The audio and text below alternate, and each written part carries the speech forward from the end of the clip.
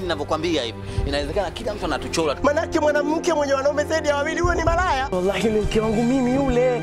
Upoje kama mwanamume bwege? Sio mmebwege, nimelipa kodi. Unalitaka hiyo? Yako maneno yangu pesa baba. Nisamehe, madirisha ya watu.